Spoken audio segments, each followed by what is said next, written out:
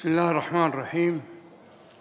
تفتح الجلسة وتتلى أسماء الأعضاء ثم أسماء الأعضاء المعتذرين عن جلسة اليوم ثم أسماء الغائبين عن الجلسة الماضية دون إذن أو اختار أحمد حمود الصباح. حاضر. أحمد عبد العزيز سعدون. حاضر. أحمد عبد المحسن المليفي. حاضر. دكتور أسيل عبد الرحمن العوضي. غير موجودة. صيفي مبارك الصيفي حاضر. الدكتور أماني خالد بروسلي حاضرة. جابر مبارك الصباح حاضر. جاسم محمد الخرافي حاضر. دكتور جمعان ظاهر الحربش حاضر. دكتور حسن عبد الله جوهر. غير موجود. حسين علي القلاف حاضر. حسين مزه الديحاني حاضر. حسين ناصر الحريتي حاضر. خالد سالم عدوى حاضر. خالد سلطان بن عيسى حاضر. خالد مشعان طاحوس حاضر. خلف دميثير العنزي غير موجود. دليهي سعد الهاجري. حاضر.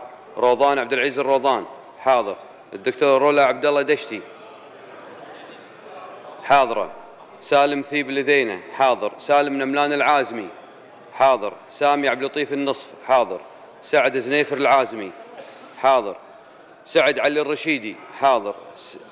سعدون حماد العتيبي. حاضر. دكتورة سلوى عبد الله الجسار حاضرة. شعيب شباب الميزري حاضر. صالح أحمد عاشور حاضر. صالح محمد الملة غير موجود. دكتور ضيف الله فضيل برمية حاضر. عادل عبد العزيز صرعاوي حاضر.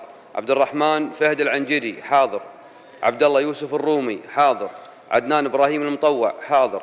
عدنان سيد عبد الصمد غير موجود. عسكر عويد العنزي حاضر. علي سالم الدغباسي حاضر. دكتور علي صالح العمير حاضر. علي فهد الراشد حاضر. غانم علي الميع حاضر. دكتور فاضل صفر علي حاضر. فلاح مطلق الصواب حاضر. فيصل سعود دويسان حاضر. دكتور فيصل علي المسلم غير موجود. مبارك بن ايا الخرينج غير موجود. مبارك محمد الوعلان حاضر. محمد براك المطير غير موجود. دكتور محمد صباح السالم حاضر. محمد عباس النومس حاضر. دكتور محمد محسن البصيري حاضر. دكتور محمد محسن العفاسي حاضر. دكتور محمد هادي الحويلة حاضر. محمد هايف المطيري حاضر. مخلد راشد العازمي حاضر. مرزوق علي الغانم حاضر. مسلم محمد البراك غير موجود.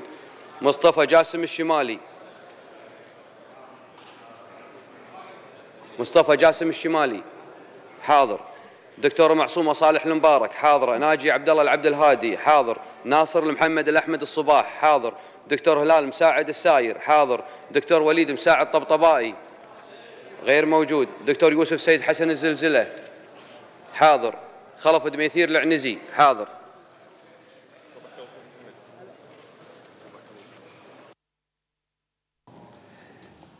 جلستنا اليوم جلسة خاصة آه، لنظر الطلب المقدم من عشرة أعضاء في جلسة 14/6/2011 بعدم إمكان التعاون مع سمو رئيس مجلس الوزراء بعد مناقشة الاستجواب المقدم من الأخوة الأعضاء دكتور وليد طبطبائي مبارك الوعلان محمد هايف المطير.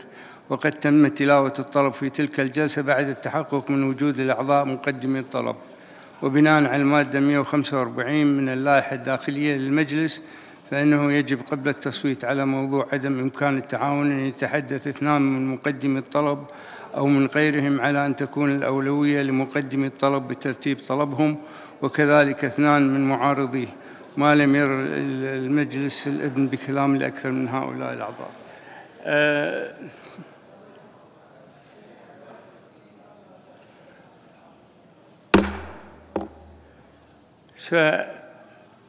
سأبدأ ب سأبدأ بإجراءات تفضل أخ وزير تفضل. آه، وزير دولة شؤون مجلس شكرا أخ الرئيس. استكمالا للجلسة الاستجواب السابقة نحن آه، نطلب عقد الجلسة السرية وفق المادة 65 من اللائحة.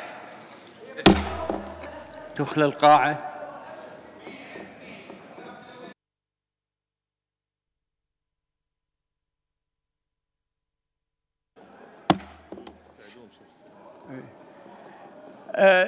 بسم الله الرحمن الرحيم. تستأنف الجلسة علنية.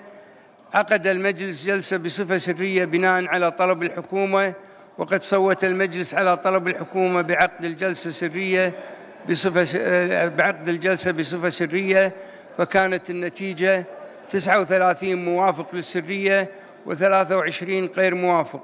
وعليه قرر المجلس الموافقة على طلب عقد الجلسة سرية.